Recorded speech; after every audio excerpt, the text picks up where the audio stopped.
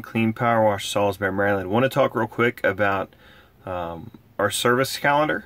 Um, as far as weather-wise, we do clean year-round, um, with a few exceptions. Certainly, we're not cleaning on the holidays. do like to give my guys the days off and everything there. Um, temperature-wise, it's got to be above freezing. So today it is 36 degrees, so we will be out um, doing some house washing and gutter cleaning.